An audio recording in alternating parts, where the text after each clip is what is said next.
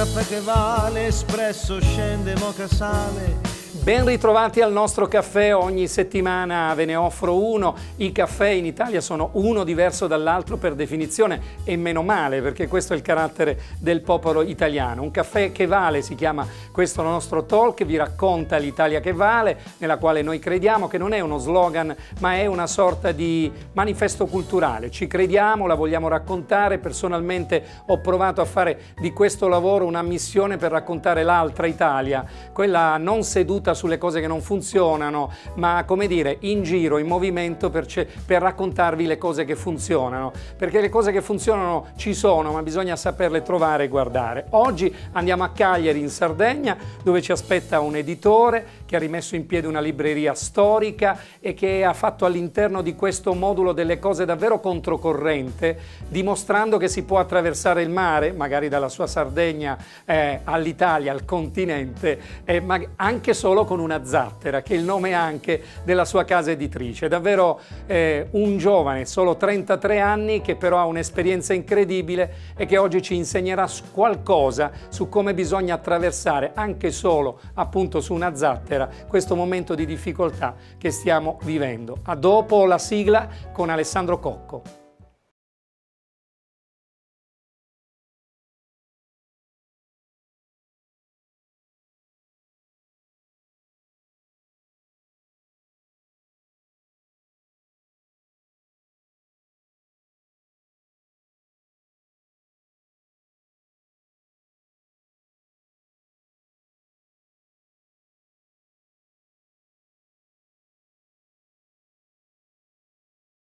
Ben trovato Alessandro. Buon pomeriggio a tutti. Alessandro ha una storia molto bella perché è una storia di andata e ritorno. È una storia di, se vogliamo, di smarcamento dai genitori, tipico. Ok, voi fate cultura, io faccio culturismo.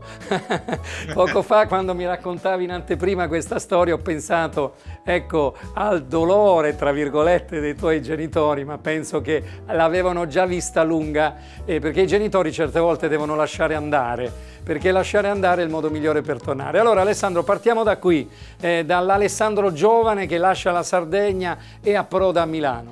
La storia di Alessandro inizia a sette anni quando eh, la maestra delle elementari eh, disse ok il tema di oggi è questo scrivere eh, che lavoro vuoi fare da grande? Bellissimo. Quindi tutti insomma no sette anni io da grande voglio fare l'astronauta io da grande voglio fare il giornalista da grande voglio fare l'avvocato eh, insomma tutte queste cose qua la mia risposta eh, fu io, a grande, voglio assolutamente prendere il posto di mio padre in azienda. Quindi, ero, quindi nasco con le idee piuttosto chiare, perché ero, mh, come dire, molto affascinato da quel mondo. Eh, all'epoca... Raccontiamo la, che azienda, nostra... qual è l'azienda di papà, perché fin qui ancora la non l'abbiamo detto. La libreria Cocco, all'epoca, all'epoca tra l'altro quella fu la prima libreria in generale aperta in Sardegna nel 29 da mio nonno, che partì lui nel 29 dopo un diploma, dopo una maturità classica presa nel 26, aprì, eh, aprì la libreria Coco. Mio nonno ebbe 10 figli, tra l'altro creò un'impresa piuttosto solida e robusta che dava da mangiare cioè, il, che vuol dire, il che vuol dire che non leggeva abbastanza, insomma.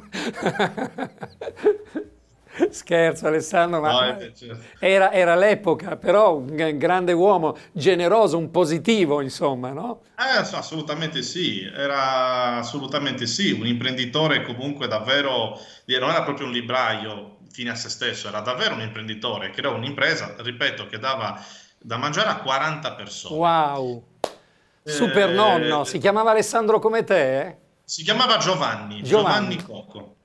Dopo di lui negli anni 80 ovviamente vennero divise varie, i vari rami d'azienda, eh, nonno ebbe dieci figli, uno di questi era mio padre e lui, anche lui continuò eh, la, l'attività di famiglia insieme ai fratelli. Quindi diciamo che io nasco eh, nel 1988, quindi ho 33 anni, e nasco in quel contesto che a me piaceva tanto perché davvero era un, un luogo molto affascinante, molto, mh, mm, come dire, sembrava quasi magico. Entrare lì era un, un, un, un si respirava un'epoca. Ma ho diciamo sentito la... bene una libreria che dava da lavorare a 40 persone, eh?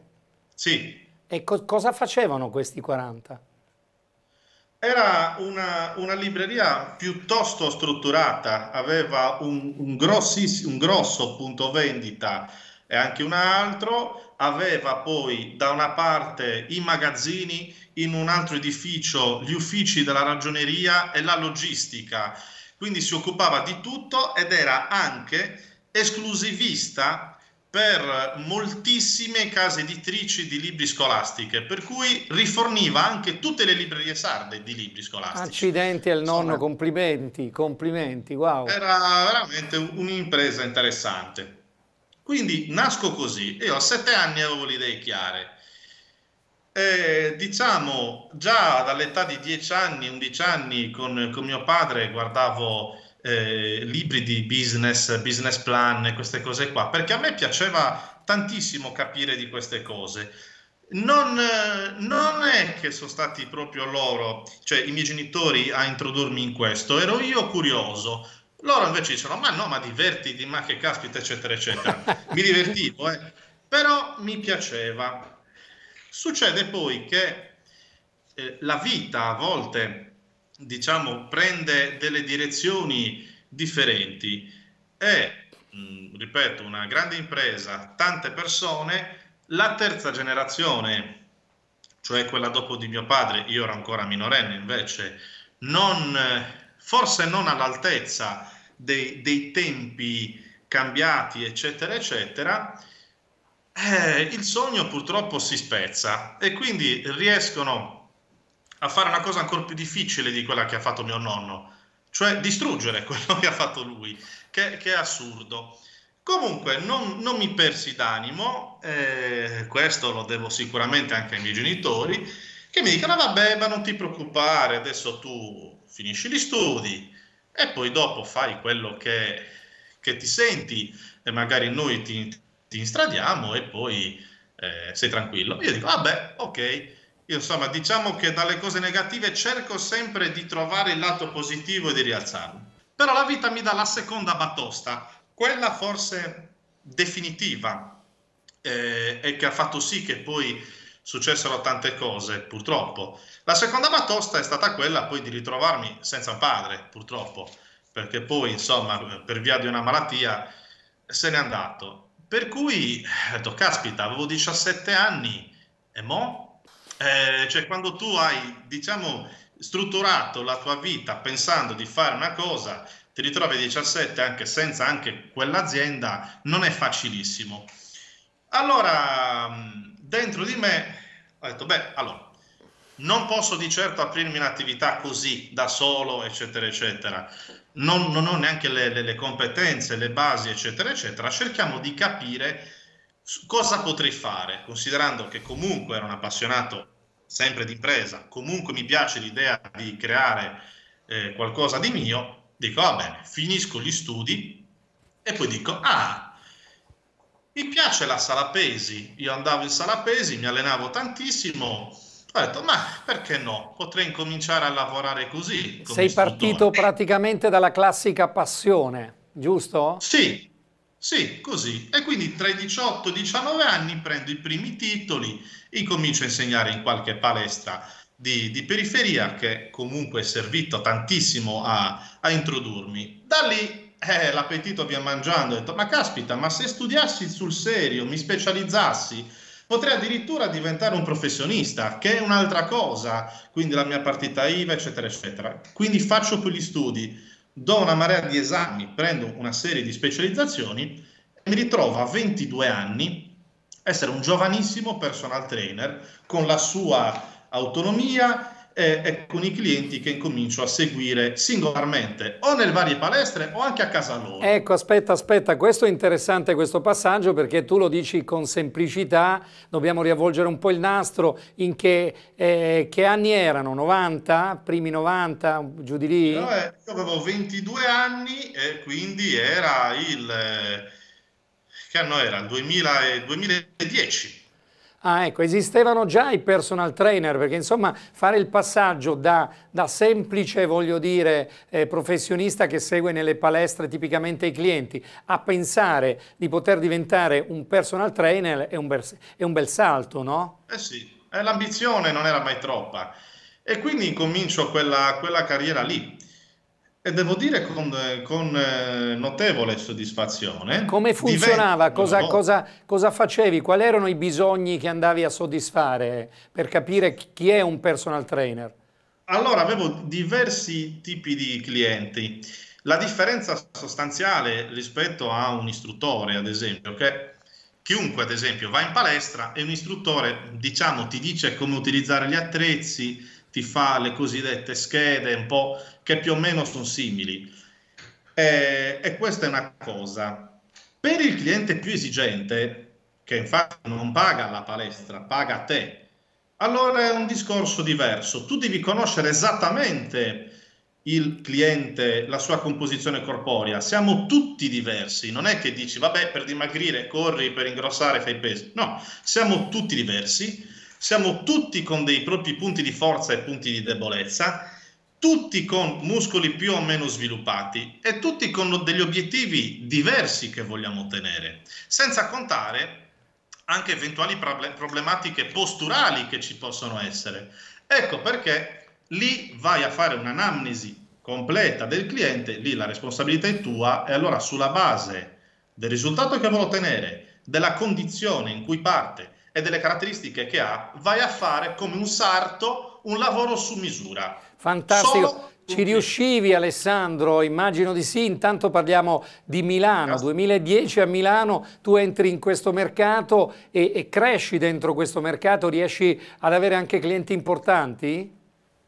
Beh, importanti, diciamo che eh, sicuramente clienti abbastanza altospendenti, anche perché un personal trainer non costa poco eh, quindi sicuramente sì, non, magari non famosi, però sicuramente anche imprenditori eh, di un certo tipo. E quindi mi creo quella realtà, ero abbastanza soddisfatto da ogni punto di vista.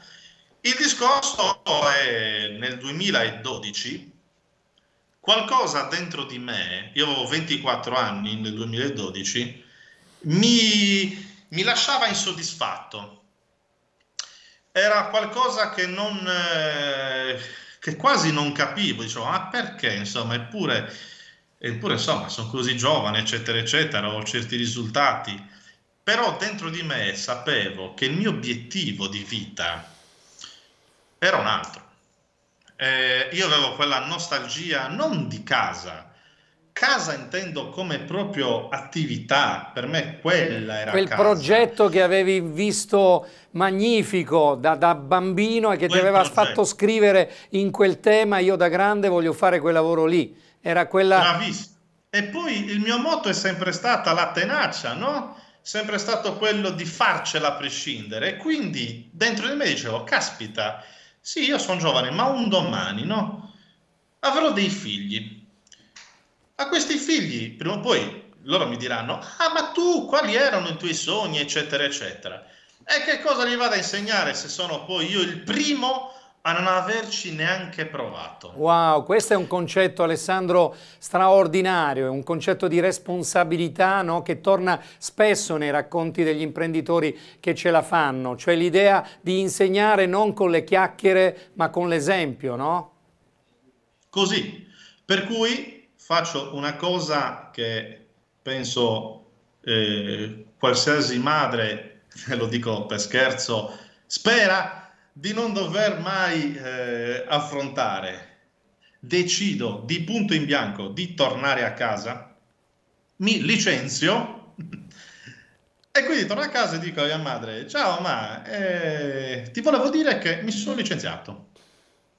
Lei tra l'altro mia madre è sempre stata mia grande fan e grandissima fiducia. Quindi un po' la vedo che barcolla, però dice, vabbè, conoscendoti sicuramente hai un'idea ancora più grandiosa. Io sì, sì, devo aprire la mia libreria. Ecco, lì mia madre probabilmente sviene. Dice, ah, lei mi dice, ma sei sicuro? Perché cioè, non è facile, eh, sono cambiate le cose, eh, come, come facciamo, eccetera, eccetera.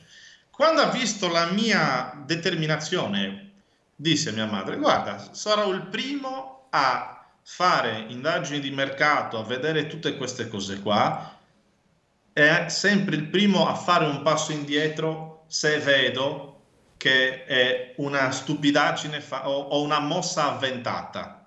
E ti dirò anche che partirò da zero, come se non avessimo mai avuto una storia, mai una libreria, una catena di librerie importante, e lo farò da solo. Allora lei, vista la mia determinazione, mi dice, benissimo, allora io sarò, farò il tifo per te. Quindi anche questa carica mi, eh, mi portò a, nel giro di pochi mesi ad avere la mia libreria. Prendo un, inizialmente un, un, piccolo locale, tra l'altro di fronte al, al Tribunale di Cagliari, decisi che secondo me, secondo un'indagine di mercato, era, bisognava partire intanto con qualche specializzazione, quindi differenziarsi dall'ormai, come dire, esagerata, eh, esagera, esagera, esagerato numero di, di librerie che c'erano, ormai i libri si trovano ovunque, no? Quindi ci doveva essere una specializzazione, ci doveva essere poi una preparazione altissima sul prodotto che doveva differenziarti dagli altri e anche ovviamente da internet, che se vogliamo è una realtà obiettivamente forte, forte e comoda. Però su internet tu ordini quello che sai già che esiste. Se invece noi diciamo sì, da me non solo trovi quello e anche le alternative, io te le faccio notare e ti faccio anche notare i punti di forza e magari creo il libro adatto all'esame che devi superare, ad esempio, questo fa la differenza. Quindi di nuovo quello che avevi imparato, passami il termine, nel lavoro, nel lavoro, di personal trainer lo porti nel mondo del libro, c'è un approccio sartoriale al rapporto col cliente. In maniera scherzosa l'abbiamo chiamato il personal book trainer.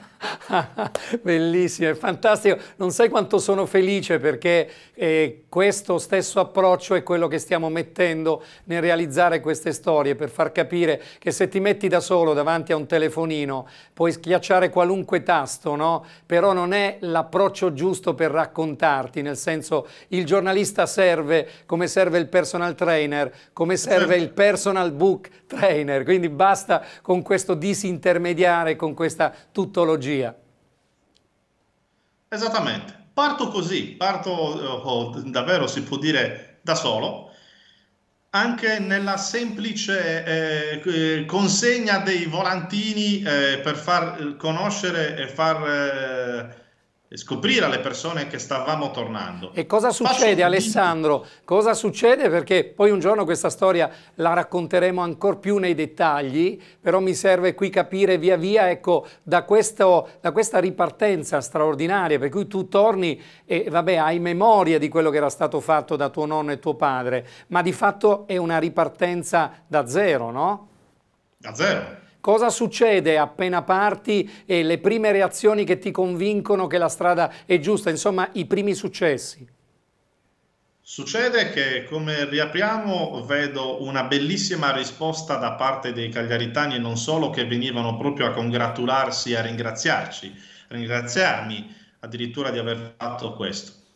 Incomincio a, a, dire, a lavorare sul negozio eh, dove, eh, ripeto, parto in piccolo, ogni guadagno minimo veniva reinvestito sul negozio stesso un passo alla volta, su nuovi scaffali, su nuove cose, fino a, a decidere di reinvestire ogni anno in ampliamento di settori, quindi poi ci specializziamo nel settore universitario e poi dopo nel settore scolastico e poi dopo nel settore sardo, romanzi, addirittura sono il più fornito in Sardegna di libri per buddisti, perché io ho sempre studiato il mercato e ho visto, caspita, è pieno di buddisti, ma, tantissimi, ma tantissimi senti, che quant, libri, quant, ma non ci sono librerie. Senti, io sono calabrese, lo dico ogni volta che posso, siamo due milioni di anime in Calabria, penso che un'altra regione dove non siete tanti è proprio la Sardegna. Quanti siete in Sardegna?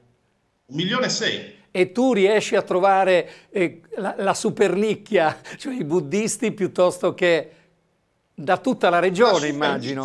Anche, anche, studiando, ho detto benissimo, in Sardegna, allora in Italia, dopo Torino, la città con eh, più eh, eh, appassionati di eh, esoterismo è Cagliari. Ah, wow. Ah, sì?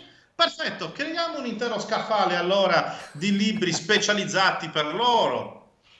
E quindi abbiamo creato anche questo. Quindi tutto questo ha fatto sì che si creasse un afflusso. Nonostante anche lì la giovane e, e qualche, qualche, soddisfazione, decisi in quel periodo, per i, tutti i primi anni, né di, come dire, avrei potuto farlo, comprarmi una bella macchina nuova, o l'ultimissimo cellulare o fare grandi uscite. No, rinvesto sempre tutto nel miglioramento della società, della, dell'azienda, incomincio poi dopo a, a capire anche che era importantissimo anche utilizzare ad altissimi livelli il marketing Ecco che quindi affido l'azienda a un'impresa proprio di marketing che mi seguiva le pagine social, i video pubblicitari che potrete vedere e che tra l'altro sono tutti eh, girati dal sottoscritto e interpretati dal sottoscritto. Sei incredibile, tutti. incredibile Alessandro. Incomincio anche lì a, a, a entrare in, tutti, in tutte le associazioni possibili, immaginabili di categoria, non solo per farmi conoscere il più possibile, ma per apprendere apprendere anche dagli altri, le storie degli altri, capire sempre quali sono le esigenze. Quindi passo tutti i primi anni così, incomincio ad assumere, come dicevo, anche i primi, i primi collaboratori, l'azienda cresce e poi faccio il primo investimento importante nel 2015 che era investire tutto sull'aprire la casa editrice La Zattera perché la, zattera? Perché la zattera? C'era ai tempi di mio nonno una casa editrice, la sua, che si chiamava così, La Zattera. Quindi io l'ho voluto fare e all'epoca pubblicava i libri dei più importanti storici sardi. Io ho voluto farlo con questo nome sia, come dire, per dare un omaggio a lui e al tempo stesso anche come metafora. Pensa un po', in un periodo al di là della crisi, dove gli scrittori navigano su un oceano infinito di, di niente, se vogliamo, perché poi quanti scrivono e quanti poi dopo vengono presi in giro o, o, o, vengono pubblicati a pagamento, insomma alla fine non ha senso. E allora l'unica cosa che ti potrebbe salvare se tu sei in mezzo al mare è appigliarti ad una zattera. Fantastica metafora, fantastico, bravo. Che non è fare grandi cose, non stiamo parlando quindi del grande transatlantico, stiamo parlando di qualcosa di più umano. Ecco qual era la, diciamo, la metafora che c'era dietro. E quindi che... creo la casa editrice specializzata nella pubblicazione, eh, tra l'altro anche lì ovviamente totalmente a, eh, a, spese nostre, cioè siamo noi che investiamo sull'autore. Quindi ci arrivano libri di più argomenti, che può essere dal romanzo al noir, al giallo, all'esoterico, qualsiasi cosa. E dopo che io convoco anche gli autori personalmente, perché ho bisogno di guardarli negli occhi, se vedo che quel libro può avere un suo perché e non solo perché è ben scritto, ma perché magari in quel momento il mercato lo richiede, ecco che allora io investo sull'autore. Alessandro, ma Quindi, lo sai che quanti anni hai Alessandro? 33. Ecco, mentre, ma a parte che insomma è un'età, voglio dire, probabilmente è una coincidenza no? iconica, questo 33 insomma già, però voglio dire, eh. ne, nel mentre tu parli, io penso che Alessandro no, è iper giovane ma è anche iper vecchio, ma vecchio nel senso... Eh, nel senso più bello del termine, nel senso che cioè, rappresenti un'Italia che non c'è più perché stai toccando una serie di elementi che fanno capire quanto veramente nel provare ad essere finti innovatori abbiamo perso di vista quelle che erano le nostre forze migliori. Ecco, mi ha colpito adesso di te Alessandro questo conservare l'idea di fare scouting no? del, del, valore, che non lo fa più nessuno, eh, cioè è una, una, un mondo ormai, un paese che lavora tantissimo sul copia e incolla e vorrebbe guadagnare senza fare niente, senza trovare nessun talento, vale nel cibo, vale nell'editoria, vale nella televisione, vale dappertutto, lo dico in maniera così forte. Io sono molto arrabbiato ed è una delle battaglie, ma è una rabbia positiva, una delle battaglie che col caffè che vale e con Italia Vale stiamo cercando di fare. Chiaramente non a caso in Lire è dentro questa narrazione, perché io ritengo quello che ha fatto Romi e che state facendo voi come associati davvero vera avanguardia, cioè l'idea di rimettere al centro le cose di valore. Quindi complimenti e, cioè ha prodotto qualcosa questo eh, passare delle ore ad ascoltare le persone e vedere se avevano qualcosa da dire? Domanda provocatoria? Allora, 27 anni ho aperto la casa editrice, no? Quindi sei anni fa. Al momento abbiamo pubblicato 52 libri, quindi non pubblico chiunque, pubblico solo quelli che secondo me funzionano, no? E a ognuno di loro tutti i miei autori, io do una loro identità, nel senso che non sono un nome e un cognome scritto nella prima pagina del libro. Voglio davvero, se secondo me sono dei talenti, che vengano proprio riconosciuti. Ecco perché do loro molto spazio, eh, lavoriamo come se fossimo un'unica grande squadra che si chiama la Ciurma la Zattera, eh, dove c'è molta veramente complicità tra tutti, non competizione. E questo funziona. Devo dire che al momento la casa editrice già dopo un anno era distribuita in tutte le librerie sarde e da due anni a questa parte in tutte le principali librerie italiane. Straordinario. Abbiamo partecipato Ecco, facci qualche nome, mi stavi per anticipare eh certo, rispetto alla domanda, ma è perfetto. Qualche nome no, di alcuni di questi nomi che tu hai selezionato e li hai portati un, come fa un bravo coach, un bravo consulente verso un risultato. Ecco, ah, i risultati di cui sei più orgoglioso. Tu conta che eh, ogni anno siamo sempre al Salone di Torino e anche al Salone Mondiale di Francoforte, no? E porto anche i miei autori con me e posso dire davvero tanti, tanti nomi di, di, di, di, tanti di loro, che ognuno di loro mi ha dato delle belle soddisfazioni. Ti posso dire Paolo Montaldo, che è stato uno dei primissimi che ho pubblicato, lui mi propose 11 libri, tutti uno completamente di, diverso dall'altro. Io ne scelsi uno, quello che in quel momento pareva il più difficile, era un libro, che, una storia vera, tra l'altro, che parlava di autismo e pet therapy. Bene, posso dirti che questo, questo libro ha fatto sì che Paolo, eh, anche lui con un impegno incredibile, ha fatto il giro delle scuole, ha fatto più di 200 presentazioni, in otto scuole è stato addirittura adottato eh, come libro. È stato il primo libro di autore sardo con editore sardo a essere tradotto pure in braille e ha venduto tantissimo. E questo è uno, per non parlare di tutti i premi che ha vinto. E Paolo Pinna Parpaglia, lo stesso, un altro, era un esordiente, un avvocato. Eh, lessi questo faldone immenso che mi portò ed ero convinto che quel ragazzo aveva un talento incredibile.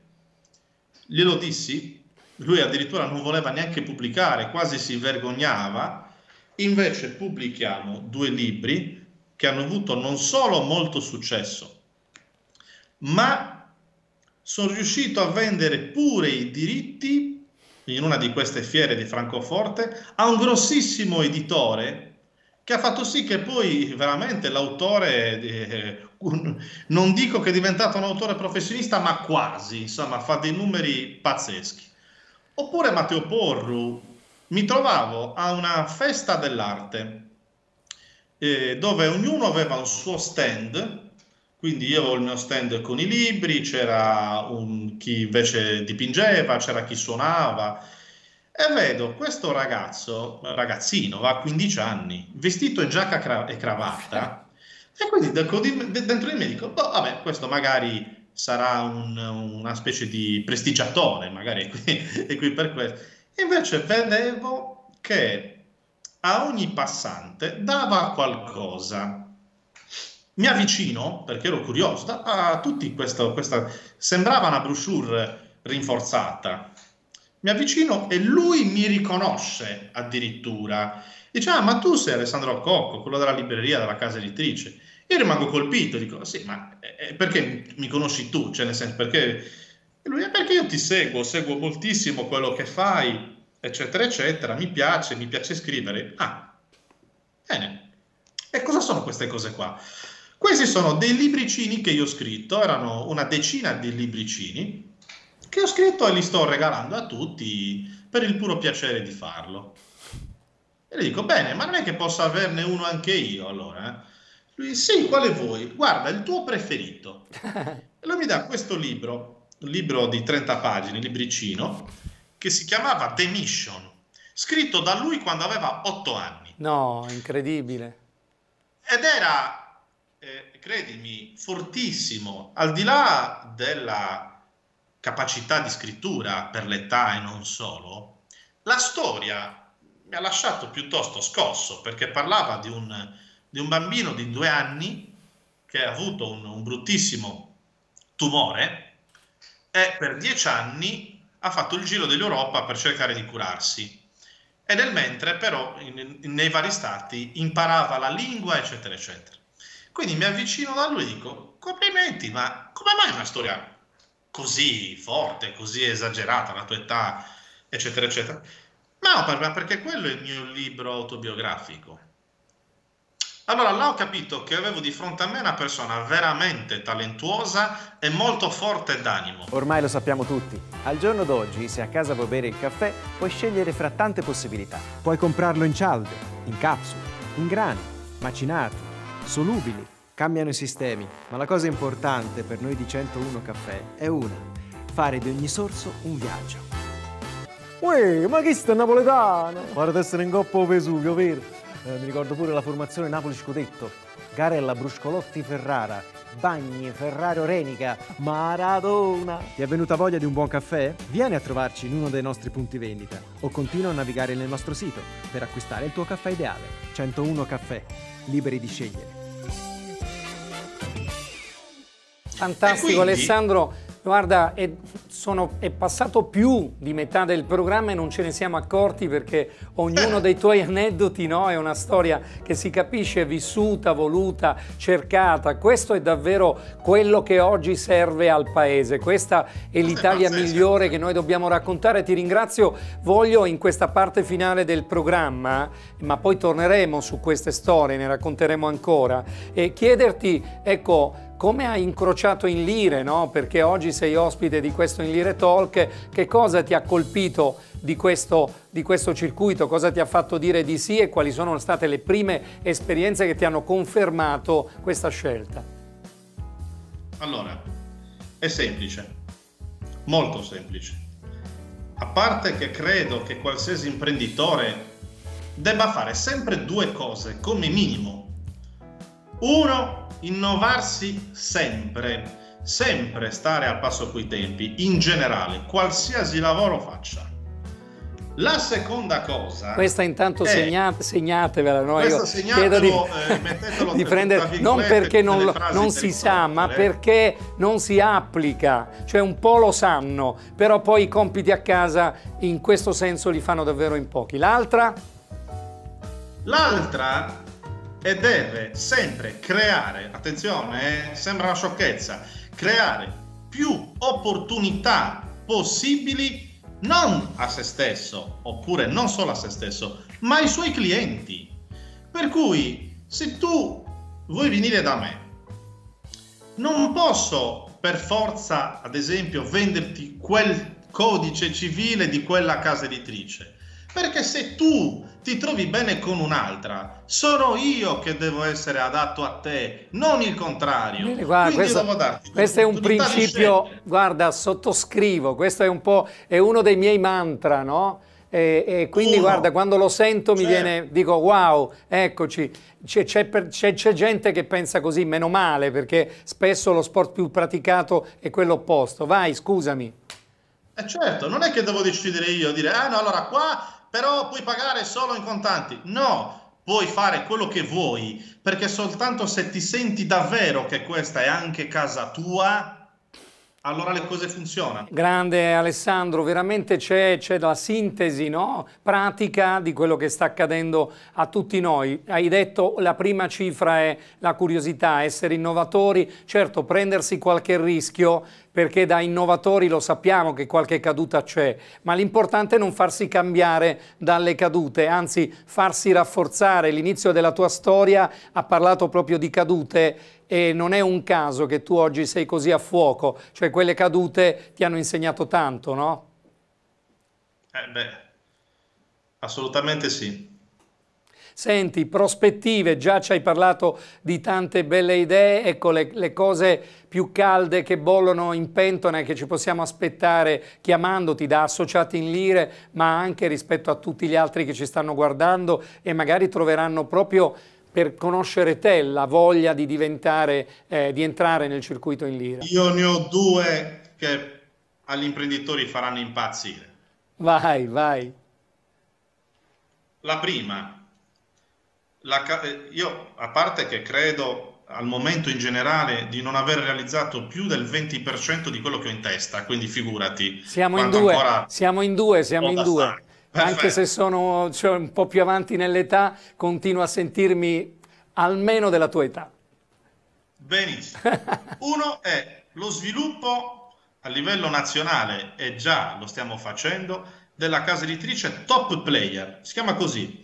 Questa è un'altra cosa, questo è proprio un servizio per l'imprenditore. Quindi c'è l'imprenditore X che ha la sua azienda, noi gli scriviamo il libro della sua azienda, proprio lo, lo realizziamo noi e non è una biografia tanto per, è un libro che parla proprio del suo modus operandi ed è scritto per i suoi clienti e i potenziali clienti che leggendolo si innamorano di lui, capiscono quello che fa ancora meglio perché è scritto davvero in maniera molto particolare e gli voglia, vi voglia loro di essere clienti suoi. Ovviamente poi questo lo posiziona moltissimo nel mercato. Immaginati, gli scriviamo nel libro, lo realizziamo, lo distribuiamo ovunque, in tutte le librerie. Caspita, se non è un bel progetto questo. Quindi questa è già la prima cosa, abbiamo già realizzato dei libri di imprenditori davvero interessanti e di successo. Guarda, l'abbiemo fatto anche noi, fino a qualche tempo fa avrei detto accidenti, un competitor, un concorrente. Adesso sono a caccia di concorrenti, perché li vedo gli alleati più grandi, no? Dico, se stanno in un settore dove ci sei già tu, a parte che se guardi in profondità ti rendi conto che probabilmente fanno cose anche in maniera diversa da come li fai tu e a partire da quella diversità puoi creare una complementarietà che fa la partita in quel settore, perché dico, Bravo. le vere minacce minacce sono distanti da noi e non vicine a noi. Quindi su questo poi facciamo due chiacchiere. Ok, bene Alessandro, ce n'hai svelato un pezzo, senti, che aria tira in Sardegna? Siete stati insomma gli unici ad essere bianchi, come è stato per un po' essere bianchi? Beh, è come quando tu segni il gol e poi dopo il guardalinea alza la bandierina, ci rimani così. E che ti devo dire, ci sta, però è, bisogna purtroppo, come dire, prendere coscienza del periodo che è così. Dobbiamo cercare di, in un modo o nell'altro, sia di, di stare davvero attenti a non peggiorare la situazione. Dobbiamo sicuramente farci forza a null'altro e nel mentre cercare di operare comunque il più possibile, cercando sempre di, eh, di, di trovare delle soluzioni per, per andare avanti e poi quando sarà il momento esplodere più che mai. Senti, la tua è un'azienda che ha dimostrato una, una, una, una tornanza intanto perché sei rientrato nella tua Sardegna due volte perché hai riacceso un progetto che era già nella testa di tuo nonno ma anche di te bambino. Ecco, noi eravamo già dentro una rivoluzione industriale, tu sei stato bravissimo perché hai interpretato il globale, il digitale in maniera incredibile. Poi è arrivata la pandemia, alcuni hanno, eh, anche se i problemi veri ci sono, però troppi problemi anche economici sono stati fatti passare come esclusivo effetto della pandemia. E abbiamo ancora pochi minuti, ma se vogliamo incoraggiare chi sta dall'altra parte su cosa devono accelerare i nostri amici imprenditori, le partite IVE, i commercianti che hanno diritto, io sono fra quelli, eh, chiaramente a dire insomma siamo in mezzo alla burrasca, è un momento difficile, però ecco su cosa devono lavorare in queste ore per trovarsi nel, nella condizione giusta appena usciremo da questa, da questa crisi.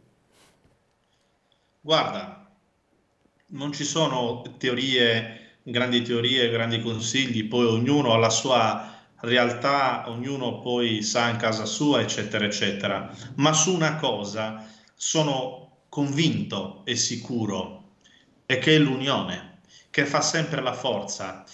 Io posso dire la mia esperienza, caspita, anche per me è stata durissima. Quando l'anno scorso c'è stato il lockdown, io quindi avevo in lockdown tutte le mie attività e anche il personale da, da, da mantenere, insomma, eccetera, eccetera. Quindi non solo al di là delle strategie, mi sono inventato il book liveru, cioè con la consegna dei libri a domicilio e addirittura in Sardegna fatta in, con, con, i corrieri in bicicletta eh, anti-inquinamento, a parte queste cose simpatiche.